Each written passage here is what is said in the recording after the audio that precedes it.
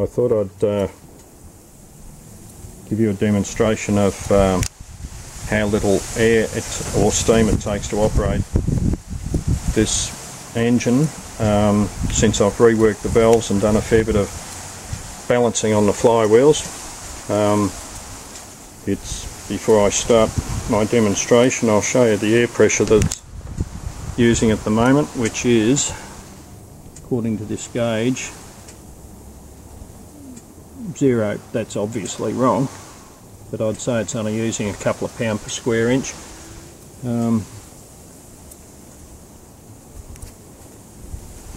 what I plan on doing is putting a small plastic bag over the exhaust um, so that'll demonstrate how much uh,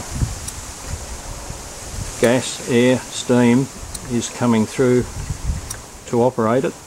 Um, so I thought that might interest a few people. So I shall demonstrate that in a moment.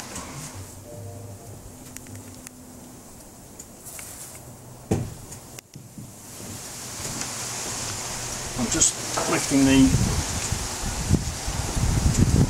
exhaust up. And I plan on stuffing it in this bag here.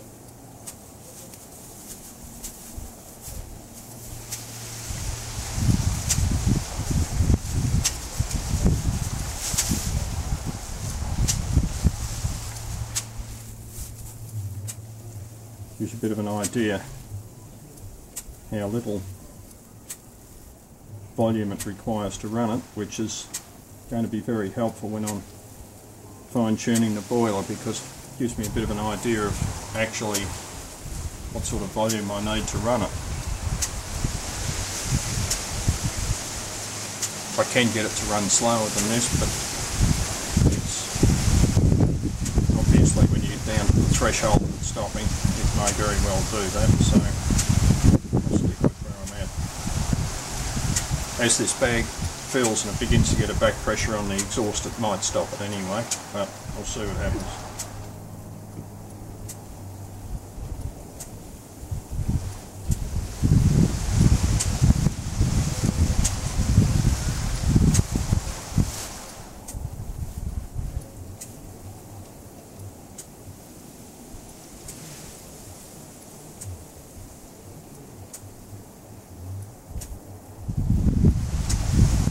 Watch Billy never boils.